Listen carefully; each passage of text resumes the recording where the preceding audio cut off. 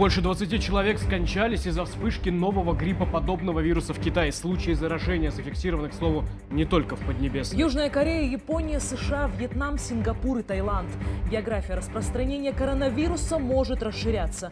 ВОЗ рекомендует не поддаваться панике, но и не пренебрегать средствами защиты. На неделе были и громкие заявления лидеров государств. Трамп, например, назвал экоактивистов пророками конца света.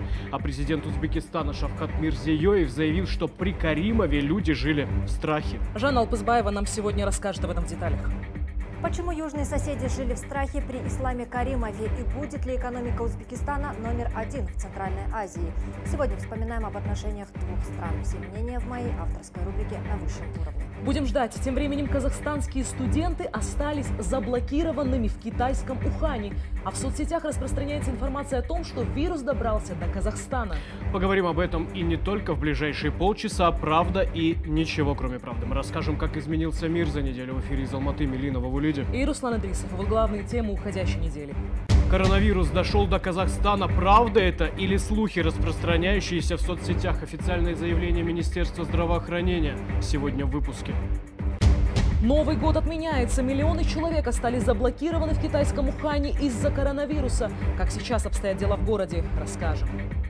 Заложники эпидемии. Что рассказывают студенты из Казахстана, застрявшие в китайском Ухане? Люди жили в страхе. Шавкат Мирзиёев сделал заявление о каримовской эпохе в Узбекистане. Подробности у Жанны Алпызбаевой. Индекс демократии. Какую строчку занял Казахстан во всемирном рейтинге? Расскажем. Ломая стереотипы, мексиканская модель без рук делает успешную карьеру в модельном бизнесе и призывает людей с ограниченными возможностями не стесняться себя.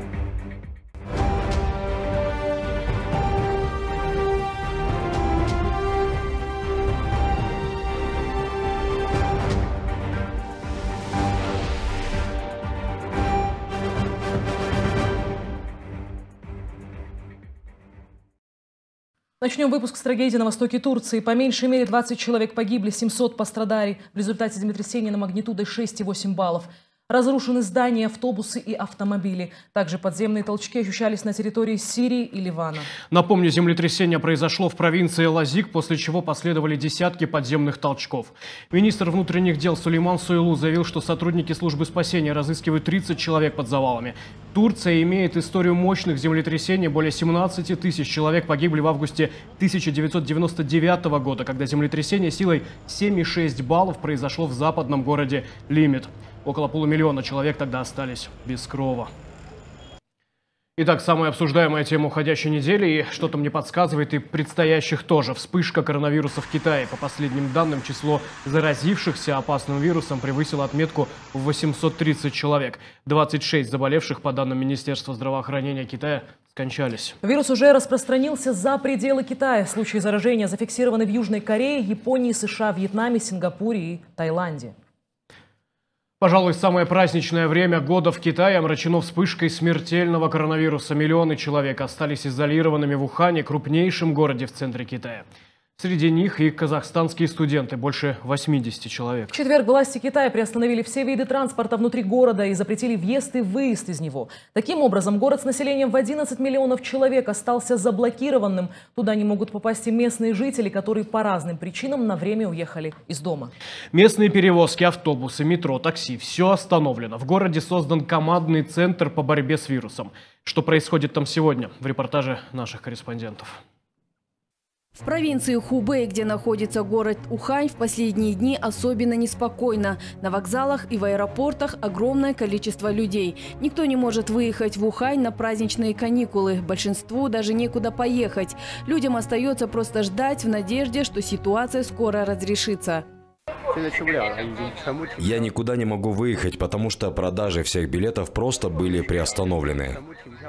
Многие на этом вокзале возвращались домой на праздники. Люди работают за пределами Уханя и рассчитывали воссоединиться с семьями в новогодние праздники. Когда я пришел сюда, чтобы сесть на поезд утром, их движение уже остановили. Они просят нас дождаться уведомления об открытии путей, но никто не знает, сколько времени это займет. В городе остановили не только работу транспорта, но и отменили все массовые празднества по случаю Нового года. Никаких банкетов в ресторанах и праздничных концертов на площадях. Люди выходят на улицу разве что вынести мусор, и то в масках на лицах.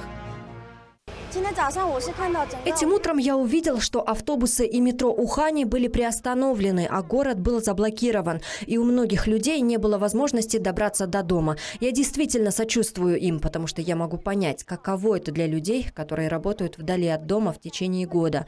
Каждый с нетерпением ждет возможности быть вместе со своей семьей. Но в этой ситуации мы ничего не можем сделать.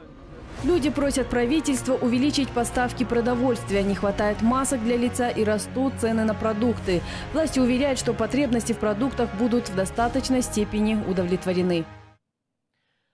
Итак, в Ухане остаются заблокированными около сотни студентов из Казахстана. Они просят помощи у казахстанского правительства и посольства нашей страны в Поднебесной. Однако пока вывести студентов из заблокированного города невозможно. Некоторые из них накануне вышли в эфир нашего телеканала, где рассказали о ситуации. По словам казахстанцев, они не покидают комнат общежития. И вот что пишет одна из студенток на своей личной странице в Инстаграме.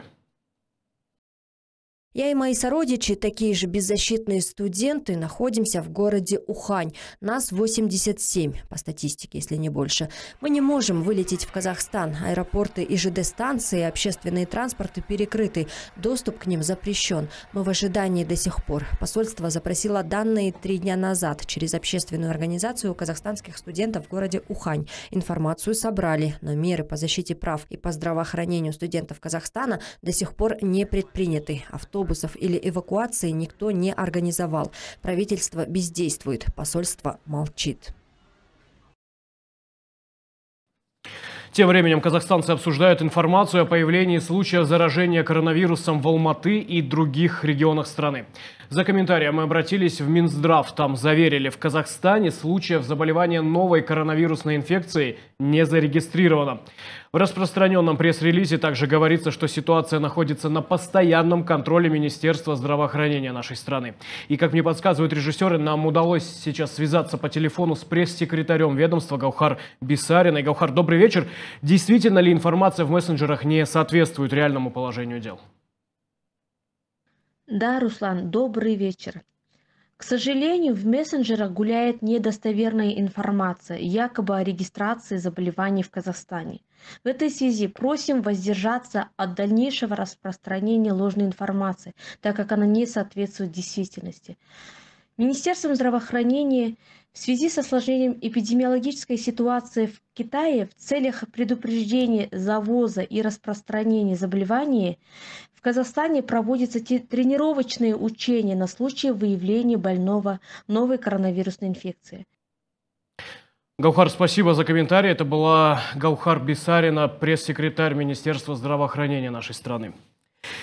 Тем временем ведомство также проводит тренировочные учения с работниками аэропортов, пограничной и таможенной службы, с бортпроводниками, летным составом, проводниками пассажирских поездов. Это делается для выявления больных с подозрением на заболевание новой коронавирусной и другими инфекциями в полете и пути следования транспорта. В Китае работает круглосуточная горячая линия для сбора пожертвований медикаментов и средств защиты, в которых нуждаются жители заблокированных городов. Тем временем меры предосторожности уже приняли и в Турции.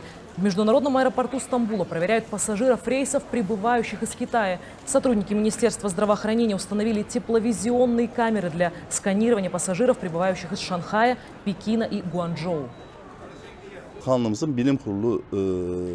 В соответствии с решениями научного совета нашего министерства, мы применяем здесь меры предосторожности, постепенно повышая уровень.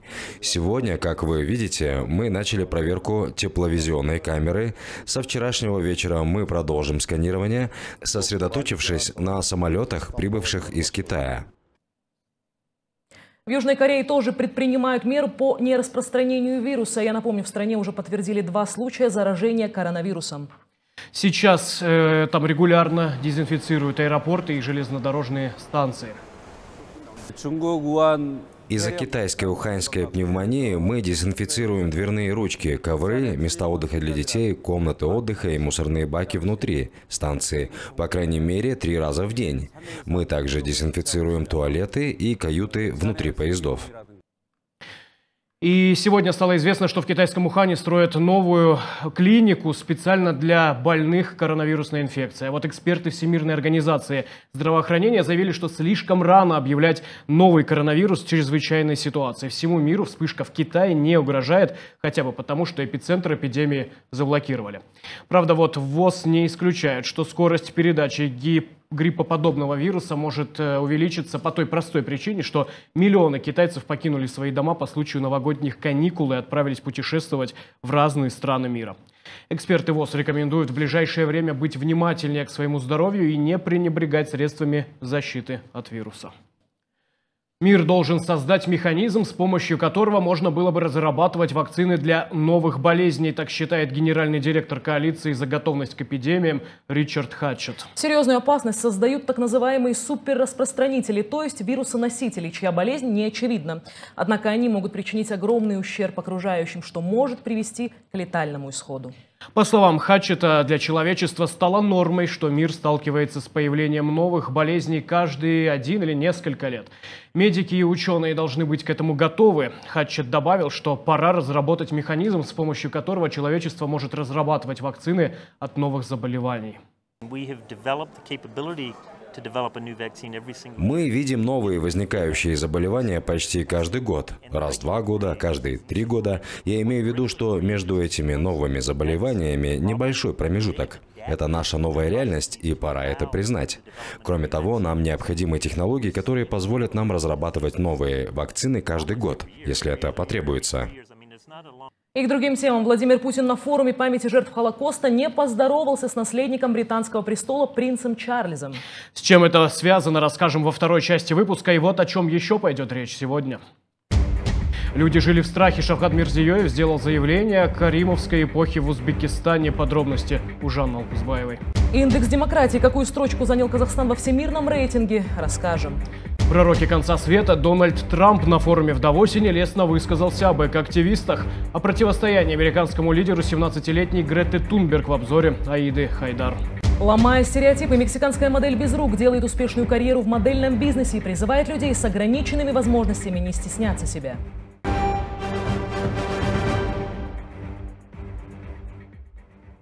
И мы продолжаем подводить итоги уходящей недели. Казахстан занял 139 место в ежегодном рейтинге индексе демократии британской исследовательской компании The Economist Intelligence Unit. Страна поднялась на 5 позиций по сравнению с аналогичным рейтингом прошлого года. В 2019-м Казахстан занимал 144-ю строчку. Среди стран Центральной Азии Казахстан показал один из самых высоких результатов, надо сказать. Впереди оказался только Кыргызстан, причем со значительным отрывом соседи расположились на 101-й строчке рейтинга. Гораздо хуже обстоят дела с демократией в Таджикистане, 160 место, и Туркменистане, 162 -е. Россия расположилась на 134-й строчке между Гвинеей и Конго. Всего в индексе демократии представлены 165 стран мира, а также автономии Гонконг и Палестина. Лидируют в рейтинге Норвегия, Исландия, Швеция, Новая Зеландия и Финляндия. Самой недемократичной страной мира признана Северная Корея. Эксперты The Economist отмечают, что глобальная демократия пережила худший год со времен составления первого индекса в 2006 году. По итогам 2019 года показатель среднего индекса демократии составил 5,44 балла. Напомню, индекс демократии за Economist классифицирует страны мира по уровню развития демократии. Рейтинг учитывает 60 разных показателей по пяти основным категориям. Избирательный процесс и плюриализм, деятельность правительства, политическое участие, политическая культура и гражданские свободы. Узбекистан, кстати, в рейтинге демократии занял 157-ю строчку, а вот президент страны Шавкат Мирзиёев на неделе заявил, что во время ислама Каримова люди жили в страхе. Кстати, на этой неделе в отставку ушло и правительство Узбекистана. Однако и прежний премьер-министр Абдулла Арипов и практически все министры сохранили свои портфели. На фоне отставки правительств Узбекистана и России поговаривали и о сложении полномочий казахстанского кабинета министров. Разговоры подогревала и назначенная на 24 января расширенная заседание правительства с участием президента. Оно состоялось согласно графику, даже плохая погода не стала причиной отмены заседания. Акимы всех областей добрались таки до заснеженного Нур-Султана, только вот об отставке речи не было. Касым-Жумарт Токаев объявил о новых реформах в стране, направленных на оздоровление финансовой системы. И все-таки, как сотрудничали правительства Казахстана и Узбекистана, какие цели поставил Шавхат Мирзиёев и почему все-таки раньше страна жила в страхе? О встречах на высшем уровне, как обычно, расскажет наша коллега Жанна Алпызбаева. Жанна, как часто правительства двух стран встречались? Не чаще, чем с российскими коллегами, но тоже регулярно. Узбекистан – третий по величине партнер Казахстана. Последняя встреча Мамина и Арипова состоялась летом прошлого года. Тогда по итогам работы межправкомиссии было подписано 27 документов на общую сумму больше полутора миллиардов долларов. Встречался казахстанский премьер и с президентом Узбекистана. Вот заявление по итогам встречи Мамина и Мирзиёева. Казахстан нацелен на расширение всесторонних взаимовыгодных связей с Узбекистаном. Этому способствуют сложившиеся в последние годы отношения подлинного стратегического партнерства между двумя странами. Слову о дальнейшем укреплении стратегического партнерства. Узбекистан, как показывают цифры, в последнее время предпочитает закупать у Казахстана больше сырья. В своей стране правительство динамично развивает переработку и производство уже готовой продукции и предпочитает наращивать экспорт товаров в регионе. Политологи говорят, в скором времени Узбекистан станет самой быстро развивающейся экономикой Центральной Азии. Экономисты ставят в противовес свои доводы. Уровень Казахстана они могут достичь через 15-20 лет. Э, ну, до этого времени Казахстан тоже не стоит на месте и будет расти. Э, поэтому сказать, что вот э, Узбекистан в ближайшие там, 5-10 лет будет экономикой номер один, очень затруднительно. Пока номером один это является Казахстан, и темп развития Казахстана и инвестиций намного больше, чем в Узбекистане. Между тем, на этой неделе Шавкат Мирзиёев сделал скандальное заявление, сказав, что при Исламе Каримове страна жила в страхе. Сначала он призвал депутатов активнее участвовать в проведении реформ, а также быть смелыми и решительными. После попросил не принимать законы, которые не будут служить интересам народа. По словам Мерзиёева, в настоящее время важно налаживать диалог между властью и народом, чего не было при Исламе Каримове. Депутатам приходилось работать по принципу «чем тише, тем лучше». «Мы жили во времена страха», цитирует Мерзиёева пресса. Нас радует положительная динамика по всем направлениям сотрудничества, в том числе в торгово-экономической сфере. Мы заинтересованы в дальнейшем укреплении стратегического партнерства. Ну и возвращаясь к казахстанско-узбекским отношениям, добавлю, по итогам 2018 года товарооборот достиг порядка 3 миллиардов долларов.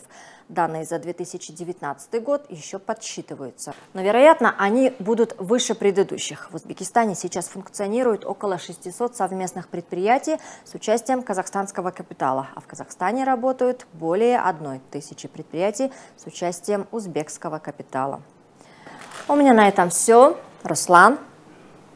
Жанна, спасибо за обзор. Я напомню, это была Жанна Алпызбаева с авторским обзором на высшем уровне. Мы продолжим.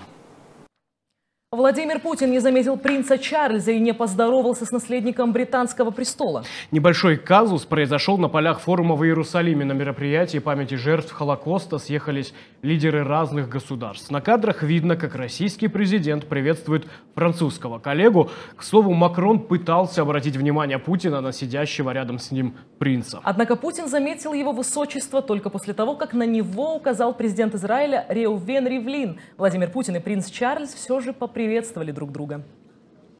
Еще на одной площадке на этой неделе встречались лидеры государств. Экономический форум в Давосе собирает участников вот уже в 50-й раз.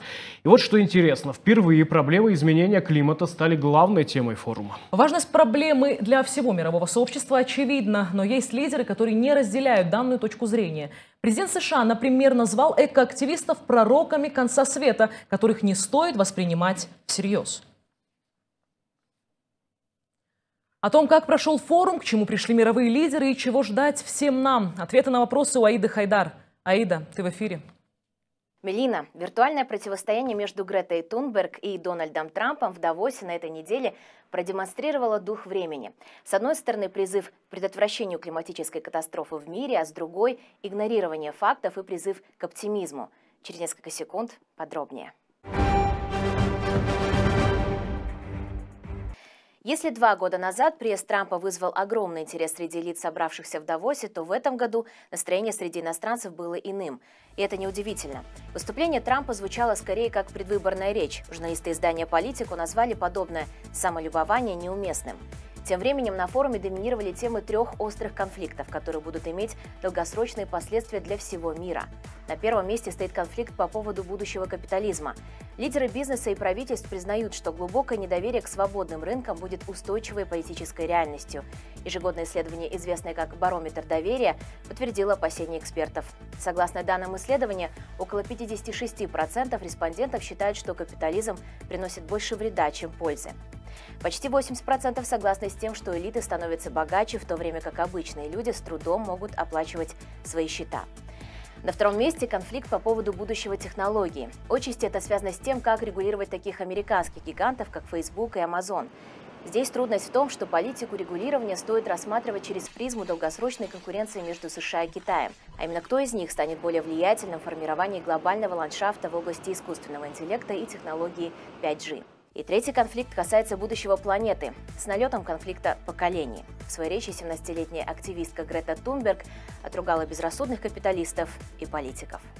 One year ago, Интересно, как вы объясните своим детям, по какой причине вы их так подвели и сознательно оставили им климатический хаос? Потому что бороться с ним было вредно для экономики, и мы просто решили не заниматься сохранением условий для жизни в будущем, даже не попытавшись. Мир, если вы не заметили, в настоящий момент в огне. Трамп же пытался успокоить участников форума, сказав, что сейчас время не пессимистов, а оптимистов. This is not a time for pessimism. Мы должны отвергать вечных пророков, предрекающих гибель, и их пророчество относительно апокалипсиса. Сейчас время не для пессимизма, а для оптимизма. Мы не позволим радикальным социалистам разрушить нашу экономику. Тем временем аудитория Трампа и Тунберг столкнулась с более насущной проблемой, а именно восстановлением роста и доверия к ослабевающей мировой экономике. Издание Financial Times пишет, что инвесторы развивающихся рынков находятся в аналогичном положении. Теперь, когда непосредственные угрозы торговой войны между США и Китаем были смягчены соглашением о первой фазе, они должны обратить внимание на грядущую борьбу за гегемонию между двумя крупнейшими экономиками мира и другие долгосрочные риски. Обеспокоенность о сохранении роста экономики хотя бы на уровне прошлого года толкает многих инвесторов незнакомые части развивающегося мира, а именно в такие страны, как Сербия, Украина, Египет и Пакистан. В крупных развивающихся странах стимул в лице сокращения процентных ставок, предоставленный в прошлом году, уже себя исчерпал. Журналисты издания считают, что инвесторы должны смотреть на мир шире и не без оснований. Так, например, отчет от PwC «Мир в 2050 году» прогнозирует, что мировая экономика вырастет вдвое в следующие три десятилетия, при этом развивающиеся рынки будут расти вдвое быстрее, чем их развитый собрат, а Китай и Индия станут крупнейшими экономиками мира. Аналогичный отчет от Capital Economics, напротив, предполагает, что доля Китая в мировом ВВП вряд ли изменится за этот период. В основном потому, что все более централизированное правительство будет душить реформу, что сделает распределение ресурсов менее эффективным. Изменение климата станет препятствием для многих электромагнитных станций, хотя применение экологически чистых технологий может повысить производительность некоторых из них. Возможно, нам не придется ждать так долго. На полях форума эксперты предрекли, что изменения в использовании ископаемого топлива могут произойти быстрее, чем мы думаем. И это будет ощущаться в первую очередь в валютах развивающихся стран, как экспортеров, так и импортеров. У меня все. Алматы. Аида, спасибо за обзор. Прямо сейчас о других событиях в разных точках планеты. Коротко. Колумбии после праздничных каникул возобновились антиправительственные акции протеста. Запланированы многочисленные шествия по крупным городам страны. В Богате марши проводились за счет студентов, которые призывали поддержать национальную забастовку. Они считают, что главная проблема, ведущая к беспорядкам, это неравенство в Колумбии и уровень бедности.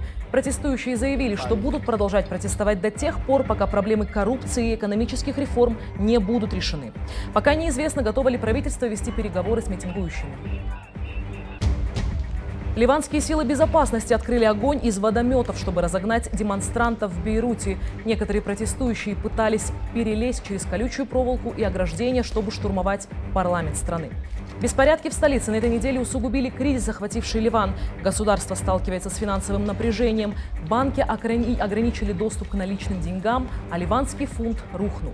В стране безработица. Напомню, в, Ливан, в Ливане не было эффективного правительства с тех пор, как Саад Аль-Харири покинул пост премьер-министра в октябре на фоне массовых протестов. Десятки тайских активистов собрались в Бангкоке, чтобы потребовать от правительства решения проблемы загрязнения воздуха. По данным независимого мониторинга, в Бангкоке индекс качества воздуха поднялся до опасного показателя. В настоящее время наивысший уровень загрязненности воздуха в столице составил 165 микрограммов микрочастиц на кубометр воздуха при официально утвержденной безопасной норме в 50 микрограммов. «Мы хотим назад наш остров!» Такой лозунг скандируют жители Лесбоса на многотысячной демонстрации. Они требуют перевести мигрантов на материк и закрыть лагеря на греческих островах Лесбос, Самос и Хиос. Самый перегруженный лагерь находится на острове Лесбус. Правительственные данные показывают, что в настоящее время в лагере Мория размещено больше 19 тысяч человек, хотя он рассчитан на 3 тысячи. Организации по оказанию помощи заявили, что санитарно-гигиенические условия и психическое здоровье мигрантов ухудшились. Часто происходят акты насилия. И напоследок, в мексиканском городе Веракрус скоро пройдет конкурс красоты, способный сломать любые стереотипы о прекрасном. Анна Габриэла Молина, 24-летняя участница, родилась без рук, но ее инвалидность не помешала ей побороться за корону мисс Веракрус. Молина долго бросала вызов стереотипным представлениям о красоте на протяжении всей своей жизни. Она уже была коронована на конкурсе красоты в родном муниципалитете, а теперь готовится к конкурсу, который пройдет в Веракрусе в марте этого года. Победа может очистить ее путь к титулу мисс Мексика, хотя Молина была полна уверенности, что появившись на подиумах конкурсов столкнется с издевательствами и насмешками. Теперь девушка развернула кампанию, чтобы мотивировать других людей с особыми потребностями не стесняться себя и заниматься тем, к чему лежит душа наравне с другими людьми.